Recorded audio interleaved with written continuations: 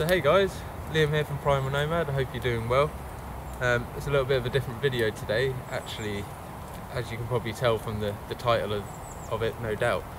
Um, essentially I just wanted to give a little bit of an explanation as to exactly what's happened. A few of you who follow me on Instagram closely will have seen my stories and you know posts to suggest that I'd been in hospital and that's exactly what's happened. Unfortunately I had a really serious fall about uh, probably about 12 or between 12 and 15 days ago. I can't remember the exact uh, the exact scenario of when it happened, um, but essentially I fell about three stories, which is around 40 odd feet. Um, so incredibly lucky to be here actually and to be talking and to be able to you know walk albeit kind of a, a slow hobble at the moment so I really just wanted to take this opportunity, like I said, to come out and explain it to you guys, um, explain that I'm okay, and obviously things are going to be a little bit slower for Primal Nomad. Um, filming is quite difficult. You can see that my arm's in a sling here, and that's because I've actually really damaged the scapula on my shoulder. When I fell, I landed on a metal fence, and uh, that uh, went through me in quite a few places, but luckily my shoulder blade took the brunt of the blow, which deflected me off the fence. Then I hit the floor. I don't remember what happened, um, and I'm quite glad that I don't, if I'm honest. But what I am grateful for, and I, and I do remember, is all the great support I had at the John Radcliffe Hospital in Oxford, and all of my friends, my loved ones, and you know people around me who really made the journey a lot easier for me and I just wanted the opportunity to come up here and do something familiar to myself and relax with a fire. Um, I got brought up here by a really good friend, John, because uh, obviously I'm completely out of action for driving. And I thought I'd take this opportunity not only to explain uh, this unfortunate circumstance to you guys, but to just, you know, come back and ground myself a little bit with nature, um, something I enjoy, you know, at the best of times. It's, it's one of my favourite things to do, come out here. And also I wanted to bring along with me, uh, probably the one opportunity I'll bring it along with me empty, a Wisport uh, Raccoon bag. And it's a 45 litre bag. Uh, and I know a lot of you guys wanted to see a review of it, um, especially just how it comes. So what I thought I'd do is bring it up with me empty, and go through it just with you guys, all the different attachments that I have for it and what I think about it a year later, or about a year and a half actually, I've had it now. Um, so we'll quickly and probably shortly get on to looking at a review of that. But for now, like I said, just want to sit here, relax with a fire and be grateful for being here. So I really guess I want to say just stay tuned. I'm going to be releasing a load of footage that I gained up over the last year while I've been building my Navara and that always was the intention. It's uh, to kind of trickle through releasing it. So I guess there might be a, a, little bit of a delay on some bushcraft content, but if you stick with it, no doubt, hopefully very soon I'll have the truck fully finished and I'll be able to go out and explore with you guys and look forward really to the next part of the adventure. So thanks for listening guys. So I'm feeling really blessed to kind of be here actually. It's a strange feeling. I wasn't quite sure what had happened. Um, I don't remember the fall uh, I just know it was obviously very, very serious. Um, someone was there with me uh, through all of it, and I'm eternally grateful to them. Basically, impaled myself through my pectoral muscle here, uh, and it came out just a bit higher. It went through my chin underneath and blew my jaw to bits. Uh, went through my shoulder, and one went through my kind of back and did some damage to some ribs. Obviously, the best outcome I could have ever asked for really because it could have been so easily a fall that led to my death, um, a fall that led to paralysis, a fall that led to mental connotations like you know I, I could have easily been had a speech impairment or a memory impairment but luckily the only thing I don't remember is falling. So yeah like I said just feeling really blessed to be here and want to kind of make a resolution to myself to uh, make the most of it. And as I've said to a few people since coming out, it's all about making memories, not planning them. Um, so I've had some uh, titanium plates put in now on the right side, so my full jaw is titanium now. Um, so just one of those, I guess, little things to be thankful for that I've still got full speech, um, although I'm in a lot of pain, especially with my teeth and my, my jaw. And I don't have any feeling on the right hand side, so my speech might sound a little bit funny and my smile a little bit crooked, but hey, I'm here and I'm breathing, so that's the most important thing. So it's really hard, guys, actually explaining just how debilitating having your right arm is. Um, but nevertheless, managed to get a fire going, managed to collect some sticks, albeit hard, but it's really good, good choice at that time to go for. Uh, but no, it's a really good chance to go for nice dead timber. Um, like I said, if it sounds like a fire, it's good to burn. And while I was here, actually, I noticed on this birch log that I've been sat down on, there's uh, something which is really quite uncommon down this part of the world. You don't normally see this unless you're up in Scotland. And there's some horse's hoof fungus growing on this fallen birch. And there's two of them. And that's obviously a really good place to get amadou, which is a great fire lighter. So I'll show you these and yeah, really exciting. I'll leave them here and then probably come back and harvest one of them and uh, do a bit of processing. Really great for primitive skills. So here you have it guys, here are the uh, horse's hoof funguses and you can absolutely see why they're called that. They're really uncanny look really similar. So this is where it's obviously growing out of the tree and the bark and you've got some other little sites starting here. It's got really firm, solid kind of outer protection and armour and underneath it's quite smooth and rubbery and a, you know quite a coffee kind of brown colour which I'll show you in a second. Now what you'd do is you'd rip that off and while it's fresh you'd want to take this skin armour off. You could then you'll see within the bottom that there's a, a really dark brown leathery layer that runs all the way around this. And that's what you'd want to harvest. But again, really nice to see and uh, something to leave for the future to come and come and take a little browse. It's good to leave it fresh until you're going to process it because they do dry out and go extremely hard.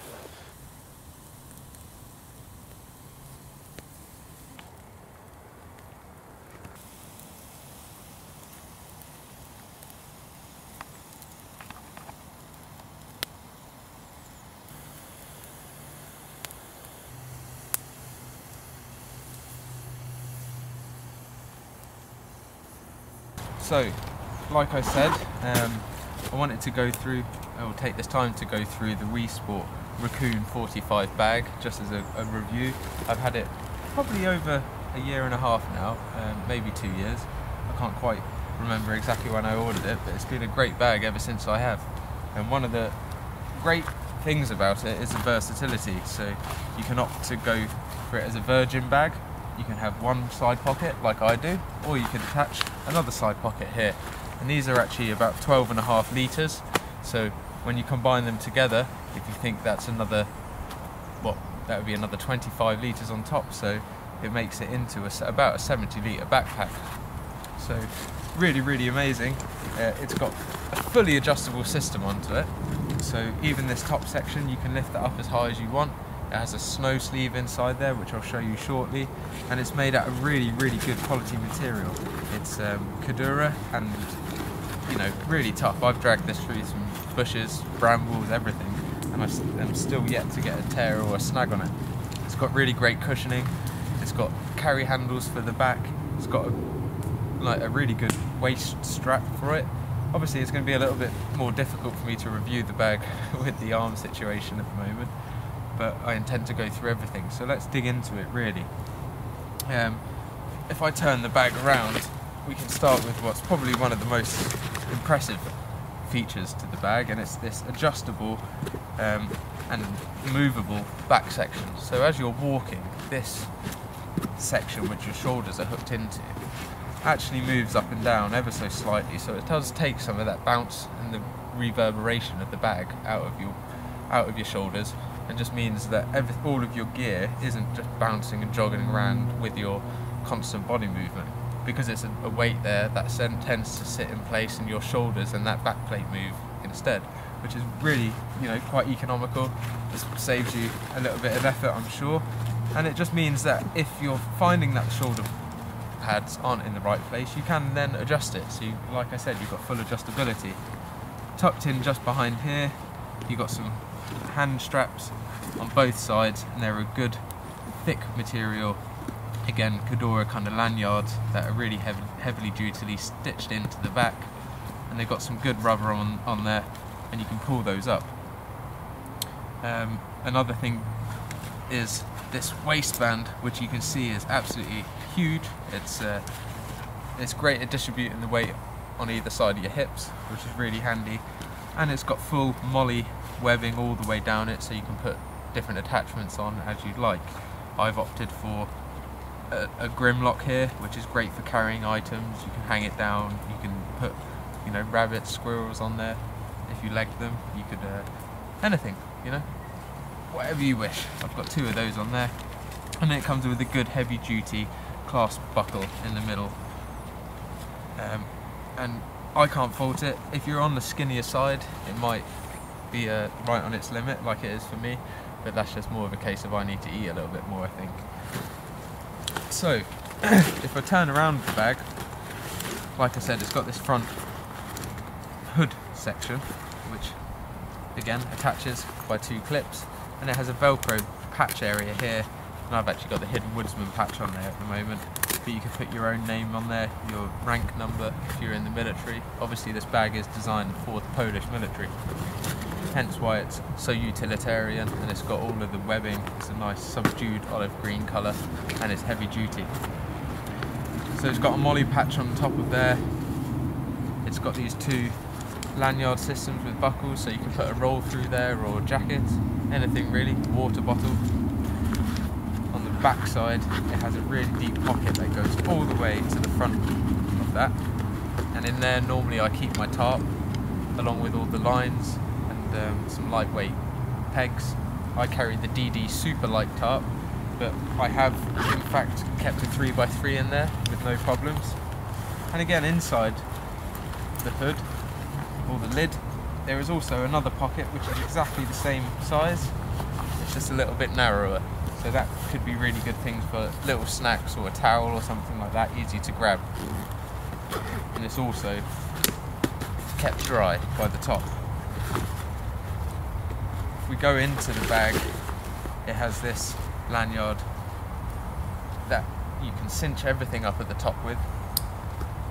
And that covers over the snow sleeve, which, like I said, it's absolutely massive. So it extends the bag probably another third all the way up. So if you if you ran out of gear space inside, you'd simply just keep stacking that all the way to the top. Undo the straps on the back of the lid, which would allow the lid to sit higher, and you can cinch it all back down. So really great idea, and obviously, if it's snowing, the idea is that your gear is protected from that by this being rolled in on itself. Going into quantity quantity of gear that you can fit into the bag. It's, it's, it's a fair size. Down to the middle section, I can fit my whole arm. And in the back, there's a big, large pocket that runs the whole way down. There's a really good firm back support as well, which is inbuilt and integral, and it has openings for hydration packs in the top. I usually carry in here my sleeping system in the back because it's split off at this area here. There is another, essentially, snow collar at that point which you can undo and turn it into one big chamber of a bag. So the whole bag is one single compartment. Or at this area here which I'll show you shortly there is a, a barrier which means you can have this section as a cut-off point at the bottom. Now in the bottom I usually carry my sleeping bag in a dry bag and I put that in the in the bag either through the front section here which is the zippable section which I'll show you or you can put it in through the top, through the snow sleeve, drawstring that closed, and then you've got a new bottom to then pack the rest of your gear on top. And it means if you wanted to get this thing out of here, you can undo this front section, whip it out, and all of your gear in here still stays exactly where it is. So really versatile because you have a few sections or you have one big compartment. Um, and another good feature on this zip, which I'll show you, is it's elasticated. So if you've got a big item in the back there, and you're trying to do up the zip, and I'm sure you guys know, when you're trying to do up a zip on a bag and there's something stuffed in there, the zip gets all that tension. And it can be really hard to pull that zip. Now what Wisport have done, which is ingenious, and I don't know why other manufacturers haven't, maybe they patented it, and I think if they have, good idea. Um, really, the elastic takes all of the tension of the item that's in the bag, so your zip is as free running if that is stuffed or if it is unstuffed. The zip just moves so freely because all of the pressure of that the bag is stretching is transferred into that elastic, which is already under tension. So it's a clever idea, really. Um, going on to the front of the bag, as you can see, it's MOLLE everywhere, and even on the side pouches, that still remains. So you could side pouch on side pouch on side pouch if you really wanted. And the side pockets, which again I mentioned are 12 and a half litres, have these straps at the back, and this is just a normal MOLLE fixing strap system. So you stitch this in. Um, a bit hard for me to show you, but I'll bring the camera over shortly and show you a bit closer up. But essentially, you push this through the first one, that comes back round, and then you would loop through this first one on, and then you stitch through the next one and stitch, and it essentially binds the bag to the bag or the side pocket, like as you can see here. So all of those are stitched through the MOLLE and it harnesses it there. You then have two compression straps that go around the pouch with clips and that just holds everything in there nice and tight. And another good feature about the bag is just the amount of straps on it. They've all got little elastic bits so that you can roll up the excess and tuck them in, which is really nice. Nice addition, stops it all flapping around. But there's tons of compression straps on there and tons of mounting points. So if you once you've got your gear in there, you can really tighten everything up, get it nice and snug to your back, and you know that nothing's going to catch, tangle, or fall out.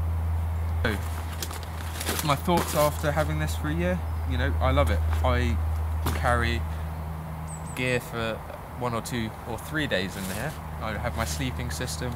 I'll usually de dedicate one whole pocket to food and 12 and a half litres. It's surprising how much food you can fit in one of these. Um, I normally then have my kind of wash and cooking kit also attached via a MOLLE system to the front so that's another pouch with water in it. It has my cup and my cookware in it. And then in the bottom, like I said, I'll have my sleeping bag. I will carry my sleeping mat in there. And then I will carry different pots and pans, the first aid kit. And I can quite comfortably fit quite a lot of gear. And if you want to see what kind of gear I take out when I'm bushcrafting, my other video, which also features this bag, um, you know, check that out. I'll make sure there's a link in the description and you'll probably see something up in one of the corners. Um, but yeah, essentially, if you want to see the bag fully kitted out and packed, that's a good video for you to have a look at. Um, but I just thought I wanted to go through it here as it would come straight out of the box or out of the bag to you guys as an empty bag. It's it's really quite light. You know, I'm fairly injured at the moment, and this is just dead weight. I can't really use that arm at all. But it's it's nothing. It really is nothing. Um, and you can see I've put certain little MOLLE D rings on here. Um, it's just really versatile. Another really nice feature, I almost forgot, is tucked in at the bottom here. Of hidden pocket. And inside it is a rain cover, which is also the same colour. And it's so handy and it's massive. And it's got a draw cord on the bottom so you can really tighten that up. And what I use this for most of, often, and more commonly than when it's raining, is I'll put this over the bag. Um, again, hard to do things a bit one-handed, but that would go over the bag and be cinched all the way around.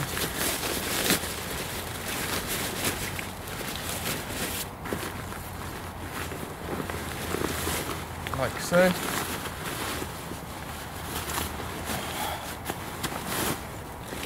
And then at night time, my bag's up against something or if it's a little bit damp, I don't have to worry about that ingressing into the bag. So yeah, really, really handy feature. And again, nice and subdued. You could leave that somewhere with a few branches in front of it. You wouldn't be too worried about someone spotting it. So I'll uh, leave it up to you whether to get one, but I would suggest if you are thinking about one and you've looked at other alternatives, it's not a bad shout. Very similar to the Karrimor Sabre, just a bit more versatile and a bit more updated with the MOLLE webbing, I think. Um, and for versatility wise, it's nice to have the flexibility of attaching your pockets wherever. You could have one at the front, two at the sides. You could have various different setups with it, and uh, I've looked at the 85 litre version of this bag, and it is massive. I mean, I could probably fit in the bag. It is that big. It's, it comes up to about here. It, it, it's magnificent. When I saw it, I, I thought I was preparing myself for uh, a big bag, but that was massive. So I'd say the 45. I think they do do a 65 as well. 65 might be good if you were thinking about a week-long expedition, but if you're thinking three or four days, two or three days, if you're a lightweight kind of bushcrafter or a hiker, which most of us nowadays are, thank, thankfully to uh, innovations, then I, I don't think you can go too far wrong. Really great quality, good and versatile, lovely colour, and uh, yeah, I haven't found a fault with it yet. It's got these elastic side pockets at the bottom, which are perfect, and on the 45 litre, you can actually just about squeeze a, a small forest axe in there, the head, I mean, and then have the handle coming up. So I've been really, really impressed with it. There's one on both sides, great for water bottles, great for everything. So let's get a few close-ups at the, some of the finer details and points so you can have a little look.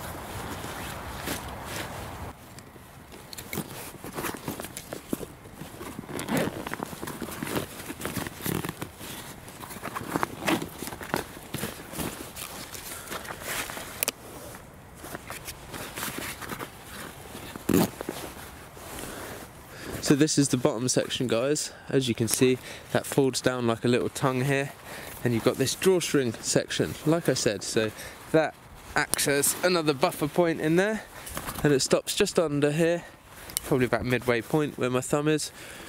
And that means you can get a nice sleeping bag in there sideways in a dry sack of course. And then that way you don't have to worry about it getting wet one of the benefits. Um, or you know whatever gear you want in there I'm not telling you what has to go in there. Or you could undo this drawstring and if you pull that all the way to the side it's a little bit harder with my shoulder being in this sling. I've only got use really of the hand from the you know movement wise it's fine which I'm lucky and grateful for but the shoulder's completely dead. Um, so you can open this sleeve up and you can see that is a full compartment all the way up the bag now. So then all your gear that you put in the top would come down into this section and you could access it that way as well. So really versatile and I, I like that feature. I generally tend to keep it as a little se section like I said because I keep my sleeping gear in there. And this is the elasticated section. You can see here that it's already elasticated and under tension. And if you imagine if there was a a bag or something pushing out. It's really hard to do the zips. This way, the zips are just free flowing, even when you've got something in there. And if a man with a bad shoulder can do it, you can too. So I've got the Wisport backpack on now. I managed to get it on with the sling and now it's all hooked in. So, yeah, comfortable bag actually. As you can see, really nice subdued tone, and it sits nicely and firm to your back. You've got these adjustable straps here on the side, which you can tighten in, and it brings it even closer. I won't do it to this side because obviously I don't want a lot of pressure on this shoulder, um, but it still works as a shoulder. got the adjustable waist strap here, which is adjustable on both sides and that means you can get it really nice and tight and it sits here just just on the hips which is really good size. So you can see there is that movement in the bag with the adjustable back system. So the shoulder straps aren't moving but the bag is. And that's really handy because if you were running or you know hacking or something like that or just on undulating terrain it takes a little bit the shock out of it. You can see here I've got the side pocket on this side and it doesn't come out further than my arm. I've still got good clearance all the way back. If it had gear in it, it obviously would do. And on the other side, there's plenty of space where you could attach another um, pocket just behind there. So I'll turn around now so you can get a, a good view of it on my back. And obviously this is unladen, it has absolutely no gear in it, it's just an empty shell. So it's at its smallest that it probably could be. Obviously, I could tighten up every strap really, really firmly and get that really nice and flat to my back. But I wanted to show you guys just as it comes as an empty shell. So I hope this review's been kind of handy for you. If you've got any questions, drop them in the comments below and I'll be sure to answer. But like I said before, if you're thinking about getting the bag, don't be put off. Um, it's really versatile. It's got a nice chest strap here as well, which I forgot to mention. Um, comes with this little hydration tube holder. So it's got loads of attachments. It's good quality, made for the military, and it's going to last. So thanks ever so much. And you know, like I said before, unfortunately the accident has happened, but I shouldn't be too far away from filming some great content for you guys. So really look forward to sharing it with you. Speak soon, and until next time, stay safe, and so will I.